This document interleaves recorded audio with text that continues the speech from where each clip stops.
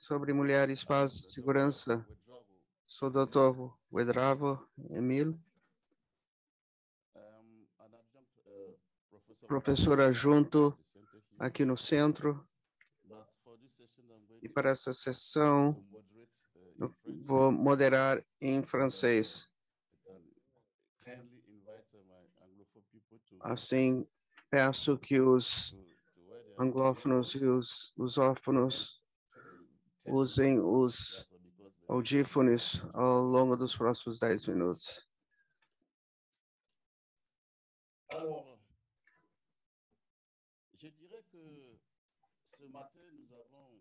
Então, hoje pela manhã, falamos sobre juventude. E vimos, claro, que tinha os tópicos eram transversais. E verificamos que no final das contas os jovens podem ser um, uma vantagem ou um des ou, ou, ou um desafio, uma vantagem ou um desafio, depende da liderança. Precisamos de líderes com visão para que esses jovens não representem um desafio, mas que sim são um sejam uma representem uma vantagem. E isso vai ser um bem de grande tamanho.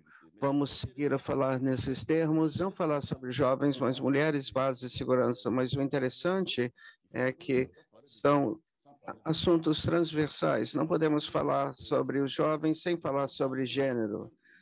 E não podemos falar sobre, so, sobre os jovens sem falar sobre empregos. Não podemos falar sem empregos sem falar sobre as mulheres. São intrinsecamente interligados, portanto, esses assuntos.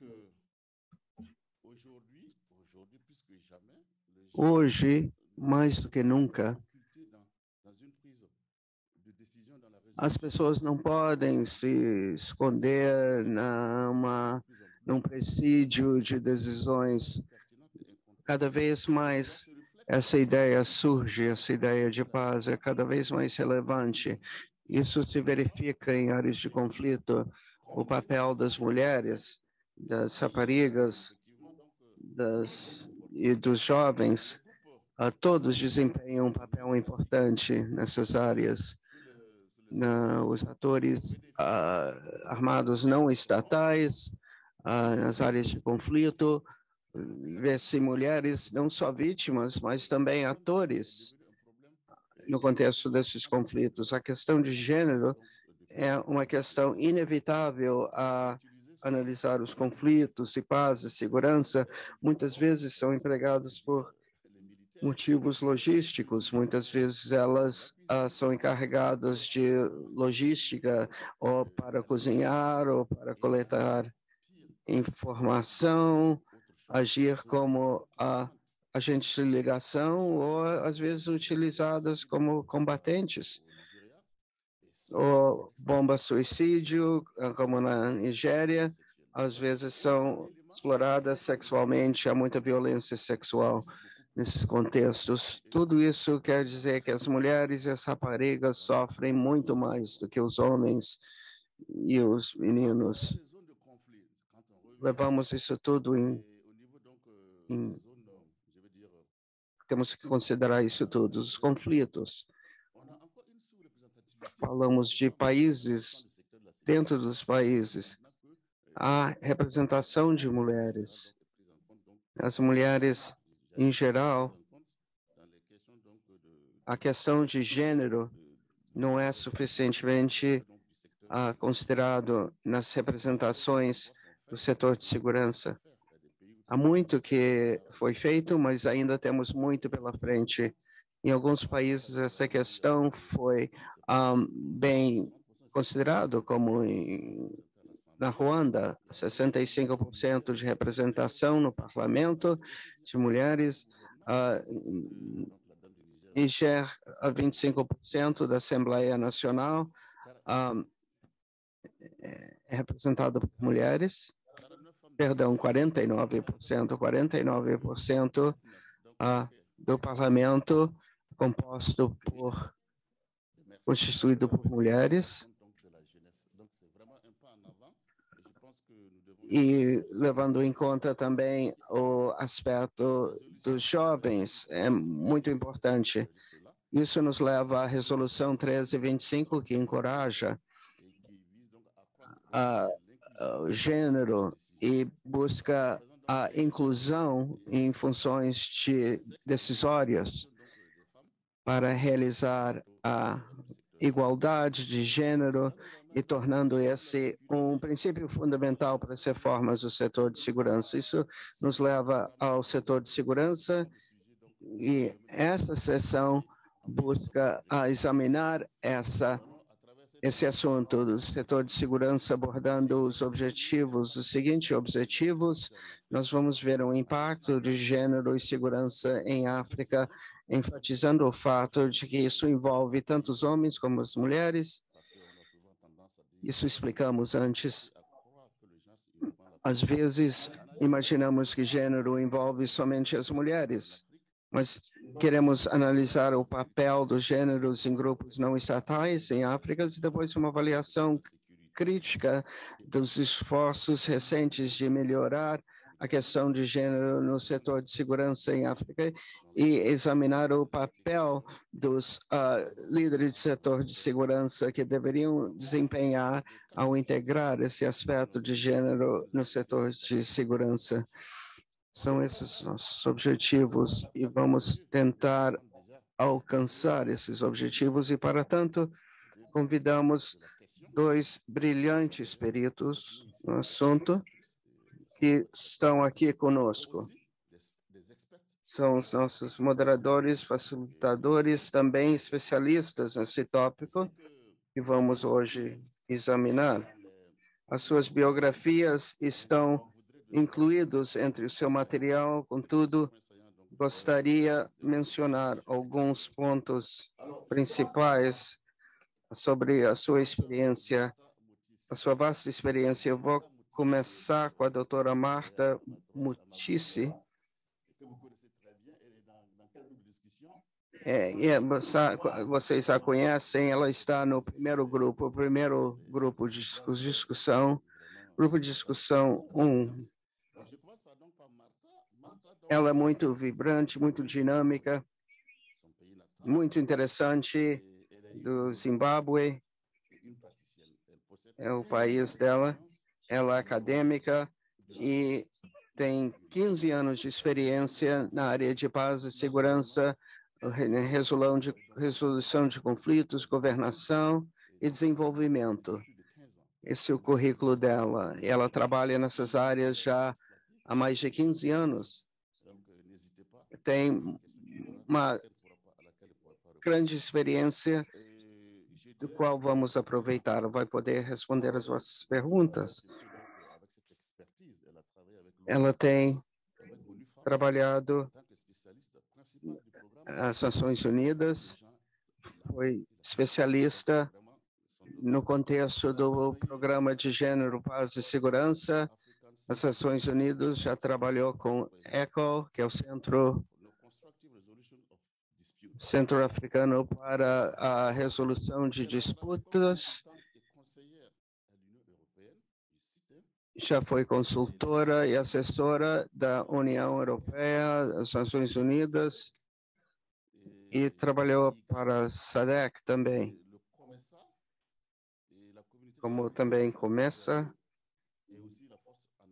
a, a, a, e, e também a força as forças de paz africanas, ela já trabalhou com todos os grandes órgãos da África Oriental, já com uma vasta experiência, portanto, na África Oriental e África Central. Tem, possui um doutorado em análise e resolução de conflitos da Universidade George Mason, nos Estados Unidos, e um mestrado em paz e governação e um mestrado em sociologia e antropologia da Universidade do Zimbábue.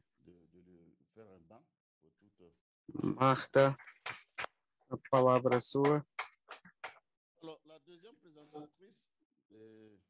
A segunda palestrante, a senhora doutora Uri Traue, é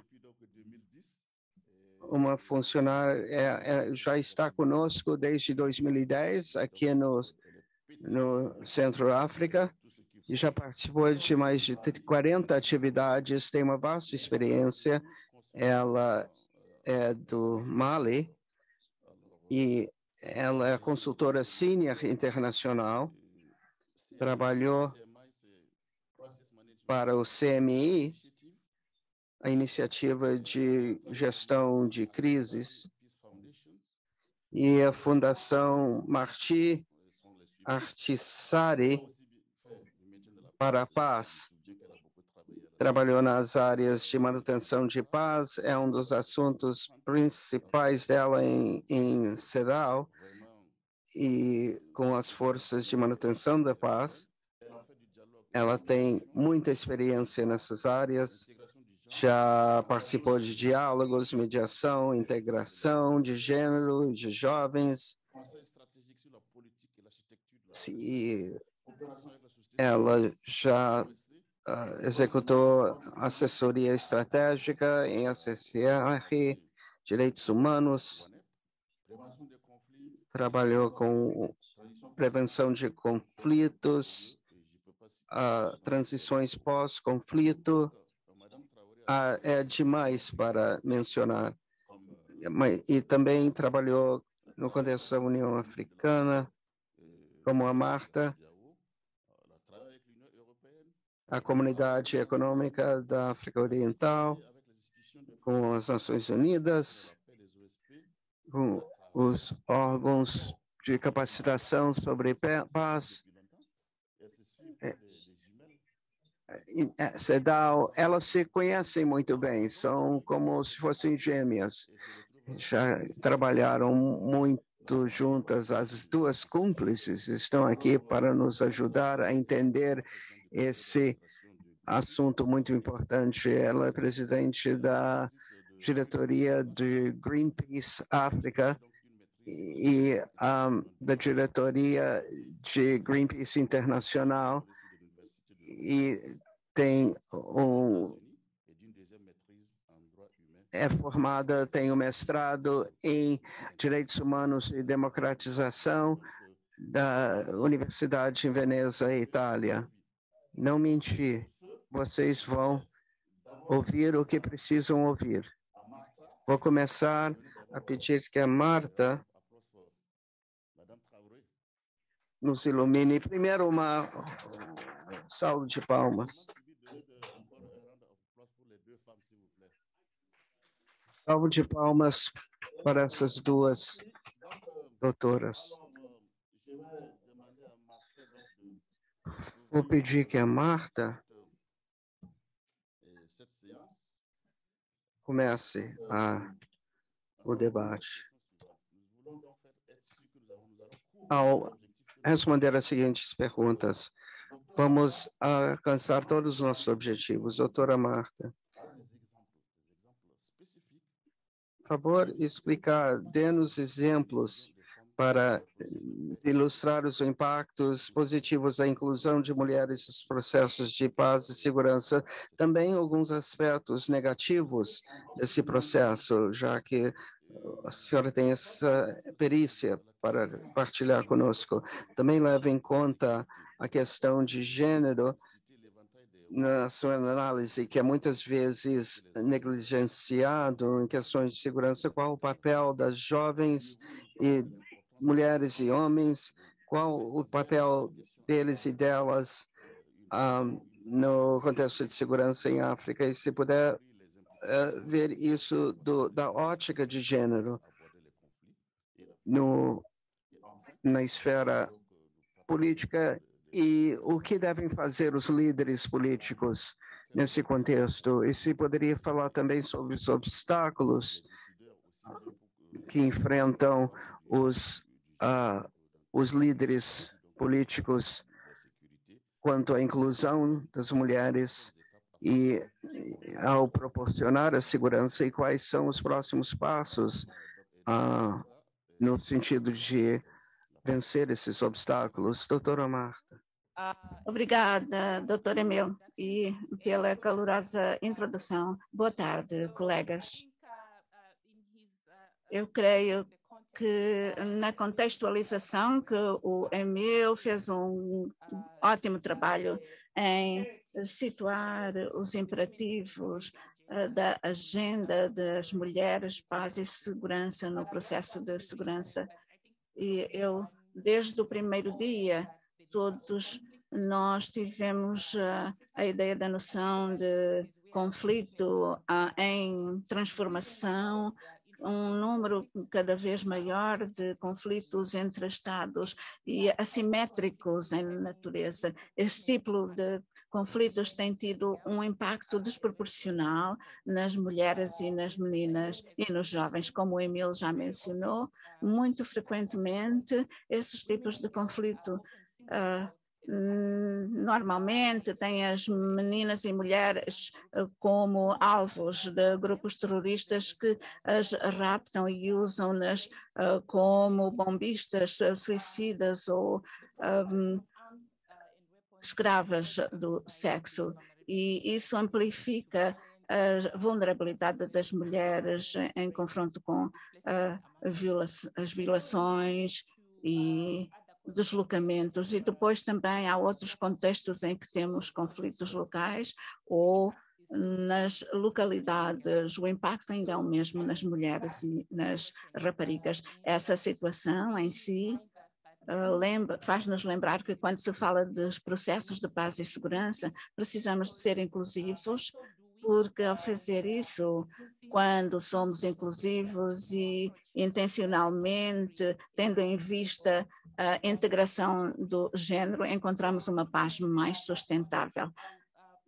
Em termos desse contexto, apresentamos alguns exemplos em que as mulheres têm estado a participar de uma forma substancial nos processos de paz e segurança e qual é o impacto disso na agenda de paz e segurança. Vou começar analisando o caso da Somália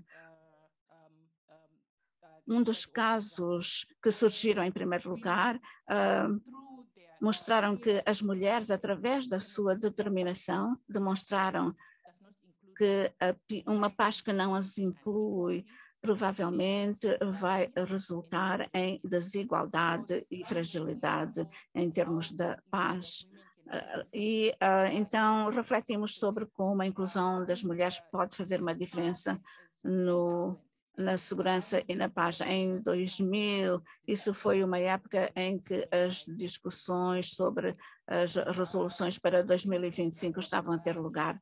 Era uma conferência em Atá, no Djibouti.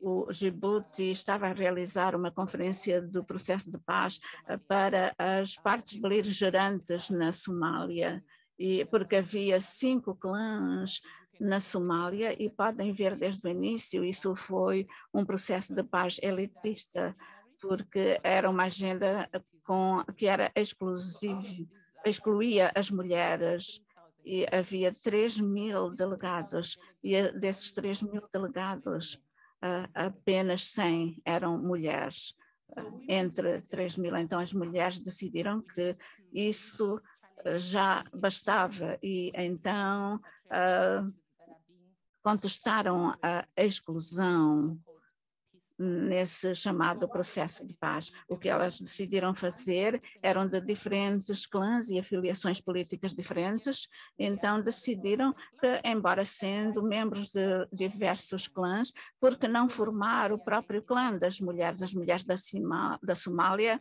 eh, criaram os cinco clãs das mulheres da Somália.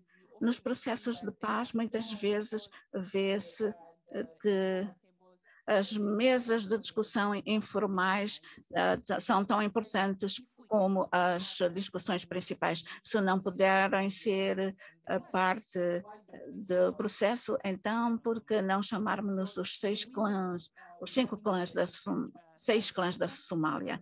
As mulheres vinham de diferentes lados do conflito e começaram a fazer um lobby como um bloco único para esta agenda de paz. Como resultado deste processo, os mediadores e os negociadores oficialmente reconheceram as mulheres como um clã adicional na Somália. Elas foram bem-sucedidas porque durante o processo de paz e durante os debates seguintes, o, o, houve um acordo assinado uh, que estabeleceu uh, 5% de cotas na participação das mulheres. Como resultado, o, resultado, o Partido da Transição na Somália assegurou que pelo menos 10% de todos os postos de liderança a nível do uh, governo local e da, da Assembleia um, legislativa uh, tivessem essas cotas.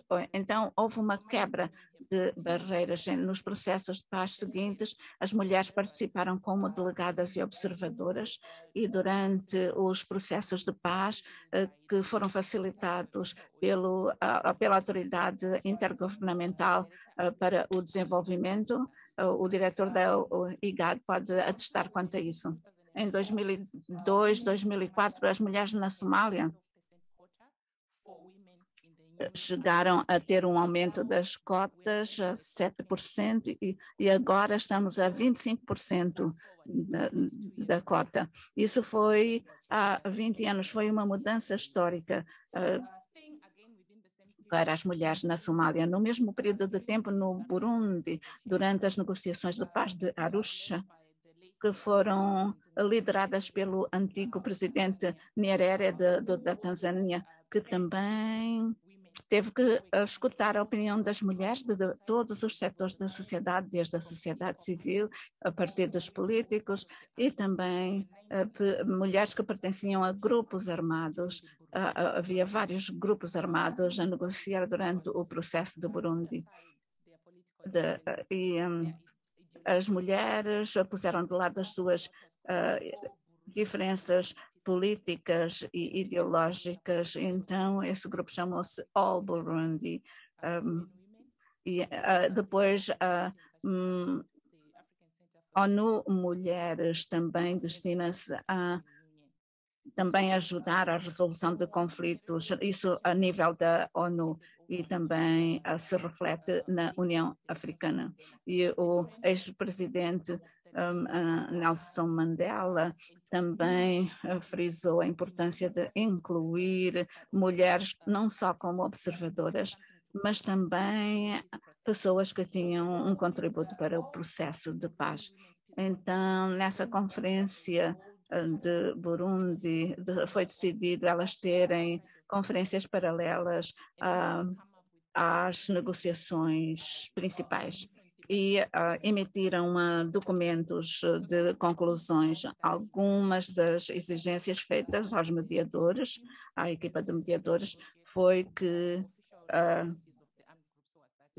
teriam que ter grupos de representatividade uh, das mulheres nas leis e também pediram medidas especiais uh, para, relativas à segurança das mulheres e, e, relativas à impunidade e à violência baseada no género. E quanto ao conflito no após o conflito no Burundi, o que é que aconteceu? As mulheres e quando o acordo de paz foi assinado, elas exigiram que as mulheres deveriam ter acesso à terra após o conflito e também as mulheres e raparigas deveriam ter acesso à educação.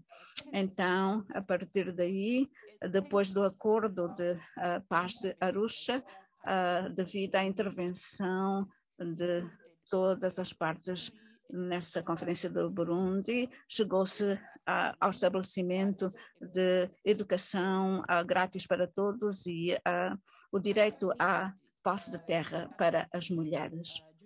E durante 2007 e 2008, após o conflito e a violência no, em Quênia, houve um painel de pessoas eminentes que foram enviadas uh, para para atuarem, vinham da União Africana e eram apoiadas pelos blocos uh, comunitários como a Comessa e GAD, mas o que realmente foi muito expressivo em termos de abordagem, uh, tanto nas comunidades económicas, mas também uh, noutros fóruns, é que a, União Africana enviou três pessoas eminentes. Uh, um foi o antigo presidente Jakaya Kikwete, e outro foi o Sr. Kofi Annan, antigo secretário-geral das Nações Unidas, e a, a senhora Graça Machel. E foram inclu, incluíram então uma mulher como mediadora. Foi a primeira vez em que uma mediadora era uma mulher dentro de um processo uh, formal de paz. E a maioria dos mediadores normalmente é constituída por homens, mas no Quênia a União Africana queria fazer uma declaração, queria demonstrar qualquer coisa e para haver a inclusão das questões relativas ao género.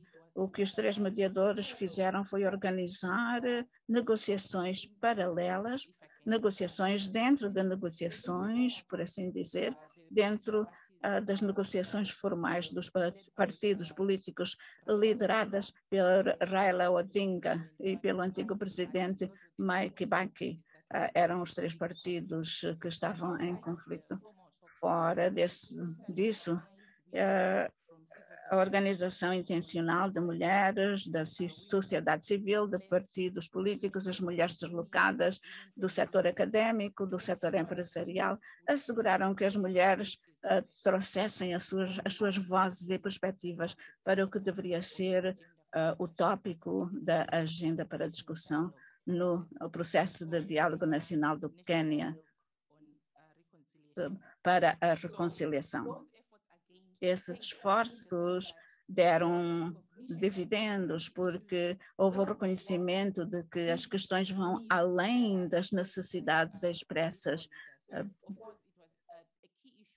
ah, uma questão principal foi os processos de os processos contenciosos onde havia uh, disputas, questões de acesso a terras e o uso desproporcional de uh, força pelas forças policiais e também as questões de etnicidade e polarização dentro da sociedade e falta de coesão social. Ao longo do tempo, isso foi instrumentalizado pelas forças policiais no Quênia.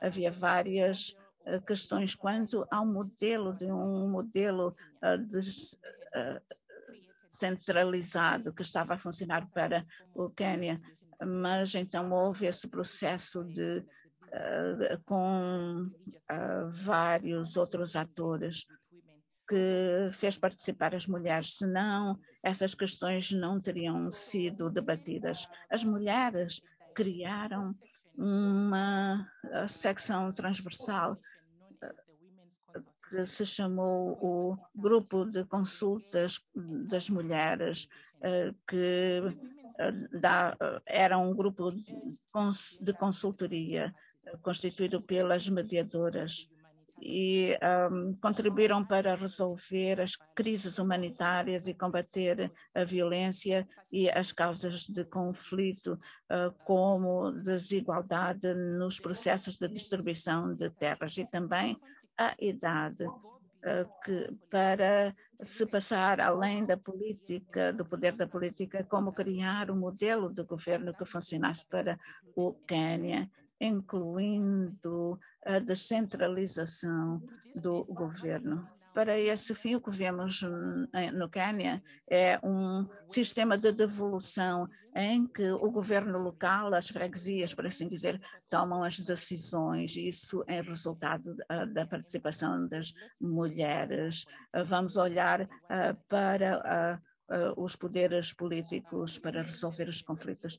Dentro da região ainda, no caso do Sudão do Sul, a inclusão de mulheres nos processos de paz e segurança no Sudão do Sul ajudou a humanizar o conflito fora os números, as cifras que ouvimos sobre o impacto do conflito das mulheres no Sudão do Sul, ajudaram os mediadores, os negociadores, as comunidades internacionais e as comunidades regionais, e porque o, um, constataram que o conflito estava a prejudicar as mulheres e as raparigas no Sudão, tal como na Somália e no Burundi uh, e no Quênia, as mulheres decidiram um, pôr de lado as suas diferenças políticas e também formaram a, a coligação das mulheres do Sudão do Sul.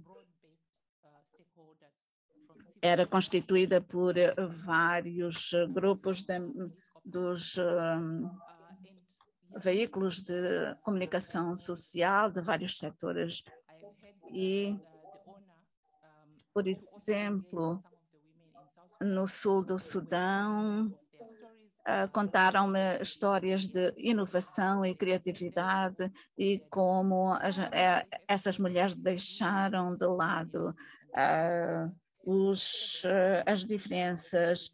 Por vezes havia processos de mediação dentro de processos de mediação para que pudessem falar numa única voz. Organizações como a Acorda e a outras organizações da sociedade civil como a CMI hum, para a resolução de conflitos ajudou ao processo de resolução. As mulheres participaram em diversos fóruns, algumas em grupos temáticos de trabalho, em workshops de alto nível, apresentaram também documentos de posição uh, dos, dos partidos e da equipa de mediação. E isso no processo de paz, por exemplo, no Sudão do Sul, o acordo para a resolução de conflitos no Sudão do Sul, eh, assim como o acordo revisado para a resolução de conflitos no Sudão do Sul, assinado em 2015 e 2017, respectivamente. Ambos os um, tratados eram sensíveis ao, ao género e também outras disposições.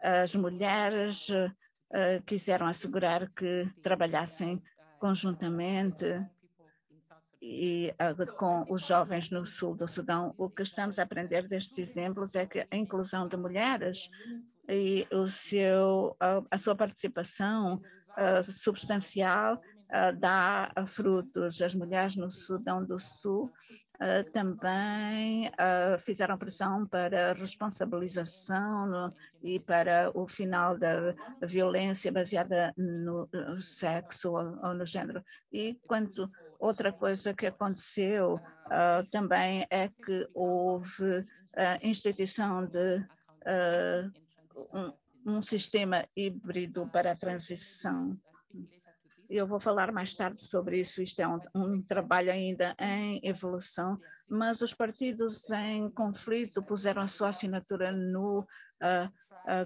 acordo e uh, concordaram em levar a tribunal os crimes contra a humanidade e assim como casos de violência baseada no sexo. Isso demonstra o que pode acontecer uh, quando as mulheres participam em negociações e vou falar muito rapidamente sobre o, o que são também algumas das políticas ambientais que permitem que as mulheres tenham um, espaços em que expressam a sua voz. E a adoção da resolução de 2025 a União na União Africana vemos que esse órgão continental está a fazer muito quanto à Agenda 2063 e também posso falar sobre a aspiração 6 na Agenda 2063, que inclui mais aspectos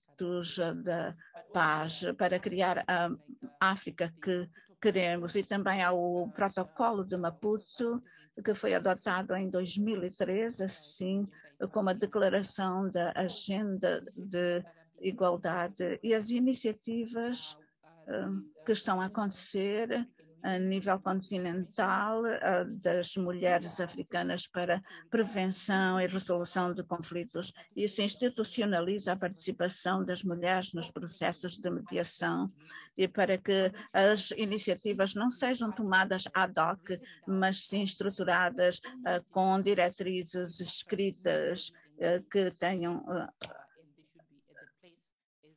a inclusão de mulheres de uma forma substancial. E é, elas são mediadoras de pleno direito. E alguns dos desafios sobre os quais posso falar que ainda estão por resolver e é, é, são ainda uh, questões uh, sobre o género. Muitas vezes as pessoas dão desculpas e dizem, bem, vamos fazer, tratar das questões mais importantes primeiro e vamos assinar uma outra coisa primeiro e as questões de género vêm mais tarde. Então, isso é concordar que os direitos das mulheres e, e das meninas podem ser proteladas.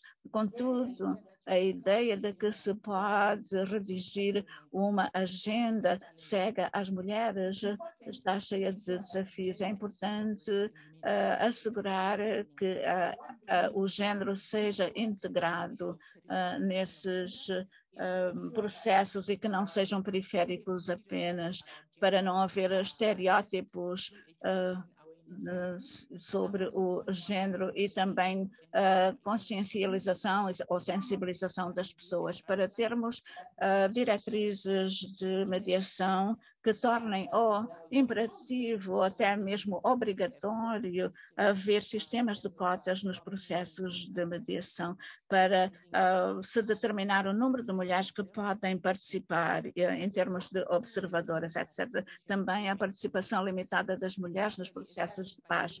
Um estudo da uh, ONU Mulheres em 2020 revelou que 20% das mulheres negociadoras apenas uma pequena proporção são uh, negociadoras. Uh, apenas alguns processos de paz foram assinados uh, desde há tempos recentes. 30% mencionam disposições sobre o género. Quando vemos a União Africana atualmente, podem me corrigir, mas dos 31 uh, voz, somente seis são mulheres. Como a, a, o Angozi, a, a enviada especial, e seis enviadas das 31. De 31 enviados, somente seis são mulheres. E em linha com esses objetivos, deveriam haver mais mulheres mediadores desenvolvidos a nível nacional, nível regional. Agora, esse processo já iniciou-se e Zimbábue, começando com Zimbábue, eu já estou, me orgulho muito, mas as mulheres continuam uh, pouco representadas na área de segurança. Nas áreas de segurança, muitas estão desdobradas na área de conflito, mas mesmo assim são pouco representadas as mulheres. Isso representa um desafio, porque estamos a lidar com países que estão a desdobrar somente homens nas missões de paz. Temos que uh, analisar as nossas políticas, temos que revisar as nossas políticas para uh, encorajar as mulheres a fazerem parte desses processos. A África do Sul, as forças de defesa da África do Sul demonstram que é possível. Uh, eles iniciaram, eles começaram no final do apartheid, tinham 6% de mulheres nas suas forças armadas, agora já estão a 31%. Uh, mulheres constituem 31% das Forças Armadas da África do Sul. Uma vez que se, inclui nos, nas forças de, de segurança, podemos incluir a questão de gênero e instituir reformas, instituir programas de capacitação e abordar a questão de disparidade de gênero, promover também a monitoria de gênero nas nossas iniciativas. Um, Felizmente, temos o, o, o marco da União Africana de avaliação, que pode ser implementado a nível nacional. e lidar também com a impunidade, com as normas restritivas de gênero, porque no final das contas a desigualdade de gênero está na raiz dessa cultura de exclusão e, e patriarquia. Isso precisa ser corrigido através da enfrentação dessas normas arcaicas. É evidente que a segurança, a segurança genuína, a paz genuína requer não só a ausência da guerra, mas a eliminação de relações sociais injustas e incluir relações de gênero justos. Um mundo mais inclusivo será um mundo mais pacífico. Muito obrigado. Muito obrigado, Marta, por ter unido todos esses, esses essas observações tão bem articuladas. Essas mulheres realmente lutaram para impor esses planos no Burundi, as mulheres que tiveram êxito em superar as diferenças políticas para alcançar os objetivos de paz e segurança. Também falamos das mulheres que tiveram um impacto sobre as dificuldades após o conflito e a coalição de mulheres do sul do Sudão que tiveram suas próprias agendas para superar as suas dificuldades, muitos desafios e a inclusão de mulheres nos processos, há muito trabalho pela frente. temos um pequeno número de mulheres que continuam como integrantes desses processos nas forças de paz. É um problema contínuo esse. Precisamos continuar a promover essa questão de igualdade de gênero e isso dito, passo a palavra para nossa segunda palestrante, que vai falar sobre os atores do setor de segurança. Por que, que continua essa questão de gênero? Por que é tão pronunciado? E vamos a dar a exemplos específicos. E qual o lugar para os homens e os, os jovens em termos de desafios e responsabilidades e respostas a esses esses aspectos de paz e segurança. Acho que precisamos permitir tempo para perguntas e respostas. Portanto, Madame Traoré, uns 20 minutos para transmitir uma ideia. Muito obrigado, Emílio. Muito obrigado, Marta, por essa excelente apresentação. Estava a ver pessoas prontos, prestes a roncar, mas eu consegui acordá-las. Melhor que a minha apresentação seja em francês. Com todo o meu francês, é um pouco, está um pouco complicado. Eu não sou francófona, mas eu vou começar. Eu vou, eu, a minha apresentação vai ser em inglês, no final das contas, assim, e, mas eu posso responder as vossas perguntas em francês. Sim, então, Marta, muito obrigado por essa apresentação brilhante e os exemplos que demonstram que realmente as coisas estão a acontecer em muitos níveis e as mulheres estão a demonstrar uma, uma resiliência a despeito dos desafios. A minha apresentação vai lhe chocar um pouco, porque quando falamos sobre gênero, nem todos estão no mesmo nível. E quando há, muitas vezes há uma resistência, porque vamos além do, das, das pessoas, o pensamento das pessoas. As pessoas nem sempre relacion, sabem relacionar uh, e nós uh, Muitas vezes vemos, nos divertimos, vemos as imagens como crianças, tentamos interpretá-las e não passa disso. Está a funcionar aqui as imagens, os, os slides. Não é um bom começo, mas aqui está. Então, vou começar.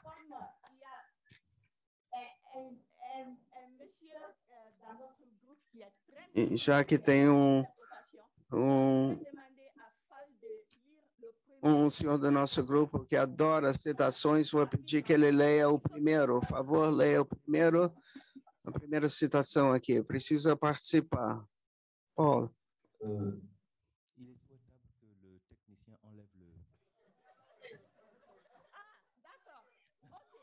Ajuda se o técnico tirasse essa barra aqui uh, à direita. Quero que ver que todos estão a participar. As sementes do sucesso em cada país do mundo são melhor plantadas por mulheres e as crianças. Concordamos? As sementes do sucesso em cada país do mundo, em todos os países do mundo, são melhor plantados por mulheres e as crianças. Ah, isso é, são as palavras de uma laurada Nobel.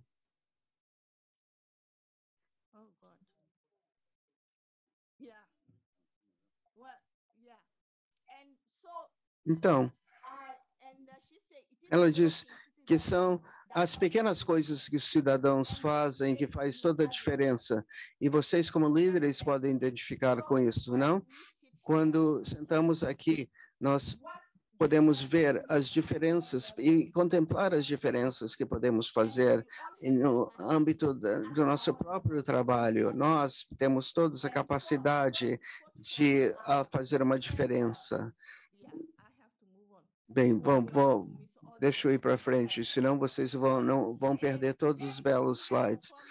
Temos o, o, o secretário, secretário executivo, diretor executivo, que diz que as mulheres uh, constituem a metade de todas as comunidades e, portanto, metade de todas as soluções. Como podemos, em boa consciência, em consciência, em boa consciência trazer os senhores de guerra para a mesa de paz e não as mulheres. São metade das nações, às vezes mais da metade das nações que as mulheres constituem. E se você vê quem é, constitui a maioria dos povos, são as, a, a, a, as mulheres, e muitas vezes os jovens constituem 70% das nações falamos da segurança e é a maioria da população que são impactados uh, pelo conflito, negativamente impactados pelo conflito. Precisamos, então, de incorporar a perspectiva e o conhecimento das mulheres e dos jovens. Se tentarmos a, a considerar o conceito da segurança se tentamos analisar o conceito de segurança, nós, um, desde o início, na segunda-feira, podemos concluir que segurança é algo holístico, abrangente, não é só vocês de, de uniforme que resolvem essas questões, esses problemas. Temos a questão do Estado de Direito, de jovens, a questão governação, segurança marítima, etc. A questão de segurança, do ponto de vista abrangente, é muito importante para que possam abordar. Bem, ah, os jovens não têm competência, as mulheres não têm competência, mas não. A segurança é um conceito holístico, abrangente, e todo mundo pode levar algo à mesa. Quando estamos a falar de questões de gênero, é assustador Estamos a lidar com muita coisa ao mesmo tempo. Muitas vezes você está a pensar, lidar com pessoas que não simpatizam com o princípio. Mas temos que quando um, avançamos esses princípios de igualdade de gênero, é complicado, porque nem todo mundo concorda.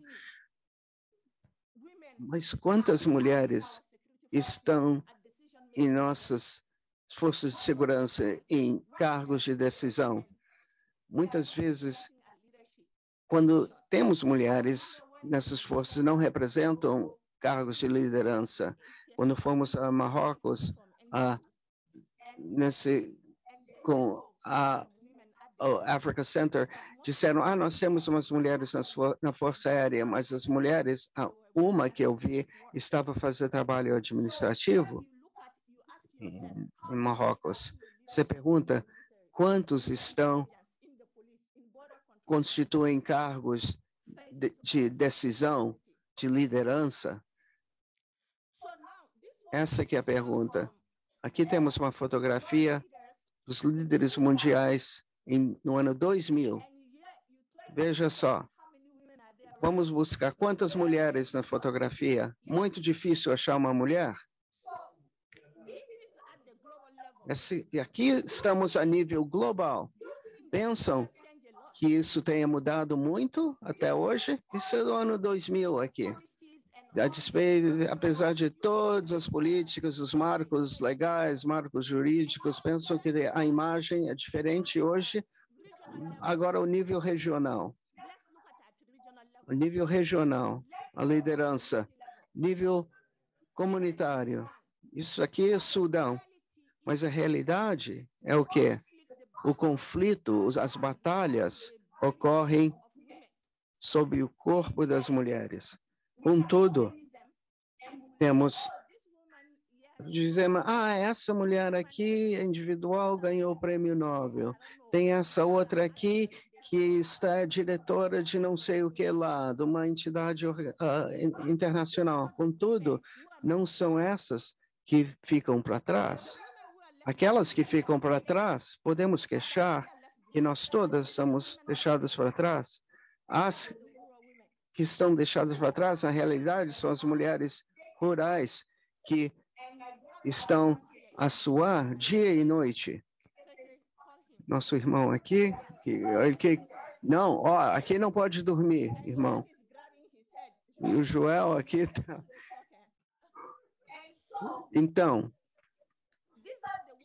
são essas as mulheres das quais falamos que estão realmente não que não tem, gostam de muita instrução, têm filhos e não têm os recursos para cuidar das suas famílias e das suas comunidades. Quando falamos das questões de segurança, são essas são as vulneráveis, mais expostas.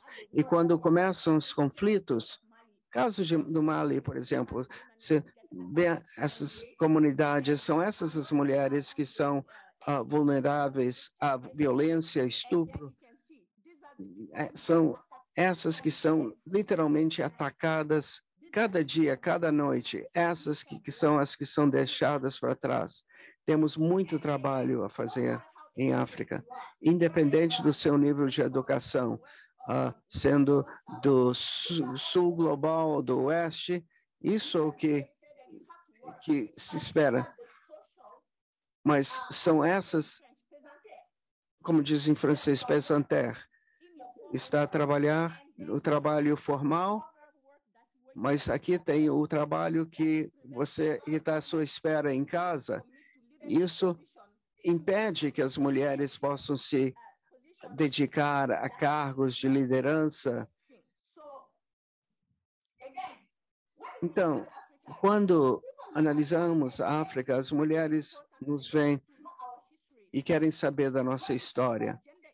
Quando se examina as questões de gênero, somos acusados de sermos uh, ter, de termos uma ótica ocidental, e preocupamos com essas questões, mas até hoje, até agora, a cultura Shanti, por exemplo, podemos ver o papel da mulher rainha na cultura Shanti.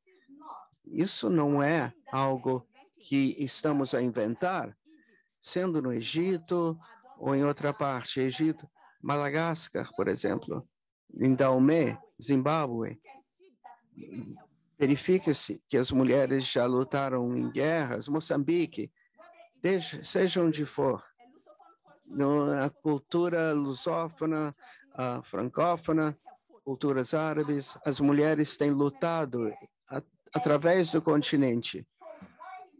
Por que que hoje continuamos a, a, a não incluí-las no, no, no ambiente, no contexto de segurança?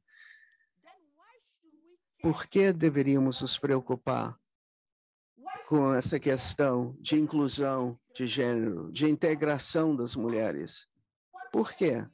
Quantitativamente, eu expliquei algo sobre os números, mas vemos do ponto de vista do ótica, da, pela ótica da qualidade, também é importante. E os homens não podem articular a experiência das mulheres. Um caso, o meu ex, uh, o meu antigo empregado, queriam e foram a Serra Leoa e queriam instituir lá um programa e era, era uma mobilização de comunidade e pediram que uma mulher falasse. Quando ela começou a falar da sua experiência, ela começou a chorar e saiu correndo da sala. Ela não pode falar. Seguiram ela. Ela disse: Não pode, posso falar com vocês, porque ela foi estuprada por múltiplas pessoas. Ela disse: Olhando para vocês, para os seus olhos, me faz lembrar daquela experiência. Precisa ter outras mulheres na sala para apoiá-la, para apoiar a mulher numa situação dessas. Precisamos ter maior número de mulheres, especialmente nos dias de hoje, quando falamos de inclusão, de igualdade, é de grande importância que saibamos que as mulheres precisam participar do ponto de vista qualitativo também. Queremos que os processos sejam transparentes e assegurar que as mulheres sejam representadas. E a questão da responsabilização e transparência, isso é uma questão de direitos humanos e uh, tem a ver com todos nós. Uh, temos que assegurar que as mulheres participam com as suas perspectivas. E também eu tive uma linda conversa com a Marta sobre a segurança uh, e as suas uh, diferentes expressões. Outra questão que o Dr. Emil me pediu para responder é as ameaças. Uh, isso tem a ver com a análise do género. Nós precisamos de nos lembrarmos que as mulheres não são um grupo monolítico ou homogêneo. Como podem ver, por exemplo, eu como mulher não casada, uh, em comparação com outras mulheres que uh, tenham filhos, que e em termos de diferenças de educação, é diferente de alguém que não tem educação ou que seja divorciada. Enquanto se faz essa análise, precisamos de fazer a desagregação, a discriminação dos dados. E enquanto fazemos essa análise, temos que ter em consideração as necessidades dos meninos, dos e das meninas uh, que estiveram uh, num ambiente de guerra e meninas que foram abusadas sexualmente, ou esse tipo de coisa. Eh, por exemplo, uh, o caso da Libéria durante a guerra, os homens Uh, podiam ir para a guerra, mas as mulheres nunca deixavam as crianças para trás.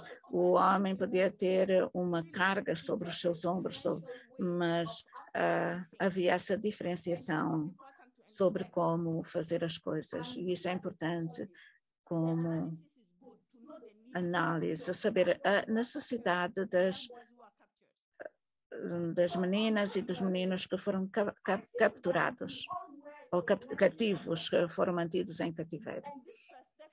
essa percepção define a maneira como olhamos para as questões do género. Pode haver normas culturais ou religiosas ou nível de educação. Temos que estar cientes disso.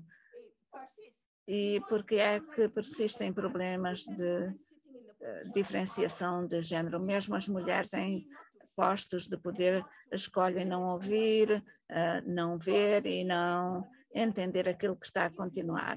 Uh, é vossa responsabilidade como líder, se quiser mudar as coisas, tem que fazer uma diferença ao seu nível. E quando chegam as mudanças, todos nós dizemos que queremos as mudanças, mas podem perguntar-me, explique isso ao nível internacional. Há a participação é importante das mulheres, mas quando dizemos que é preciso mudar, nenhuma de nós quer mudar.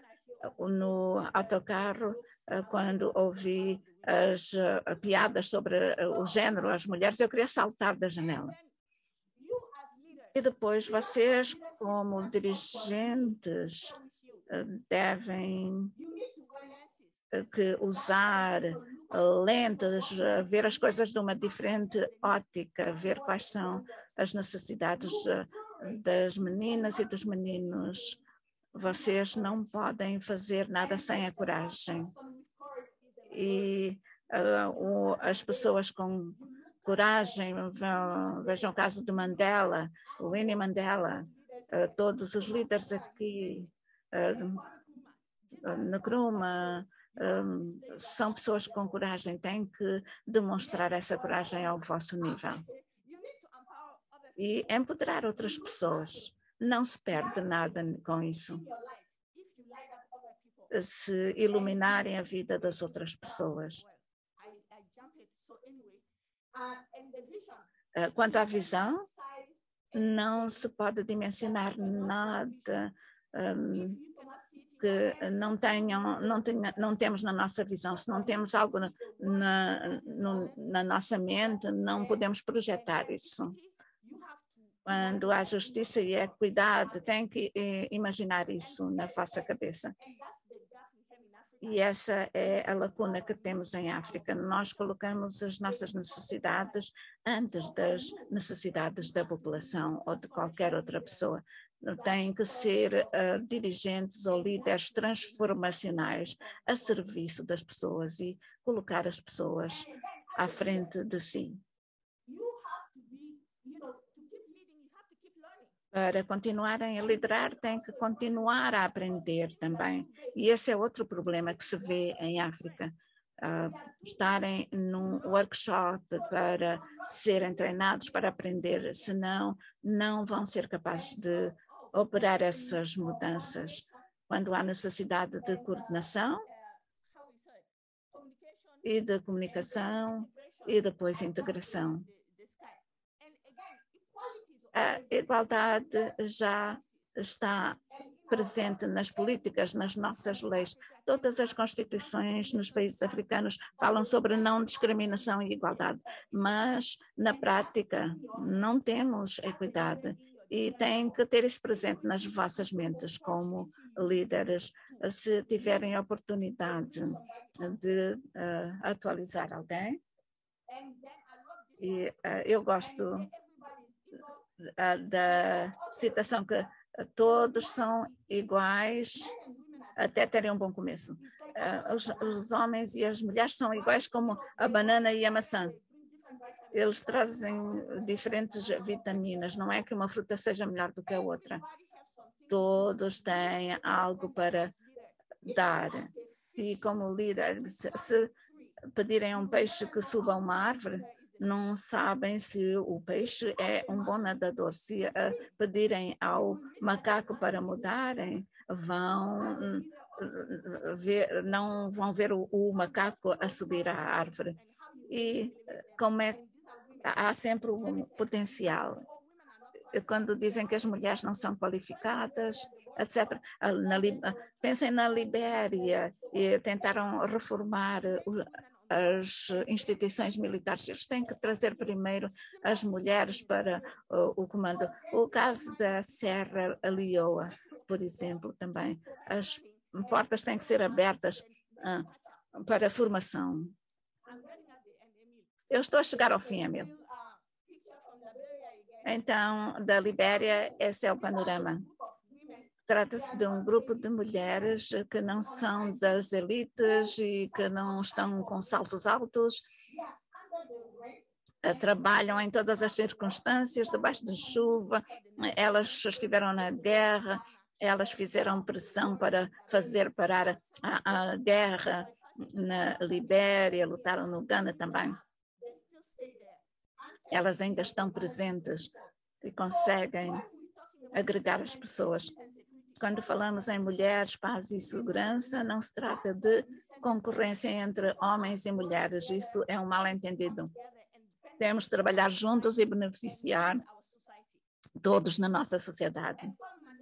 E como Nelson Mandela disse algumas vezes, uh, uh, uma geração, por vezes, é grande, mas nós temos eh, que deixar florir a grandeza. Vocês têm que se transformar a si próprios antes de fazer uma transformação. Têm que trabalhar nos relacionamentos, nas questões culturais.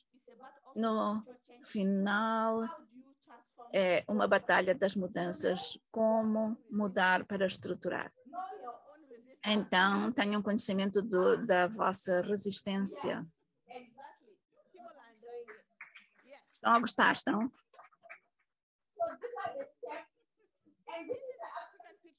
E este é o panorama, esta é uma imagem da África, é uma, um morro de Solalé, que, eu, eh, que é indestrutível, é o tipo de eh, coisa que temos que ter em África. E agora, como é, quanto à percepção, como mudar as nossas percepções e quando é que querem mudar e fazer as pessoas entender que têm que saber comunicar para mudar a percepção.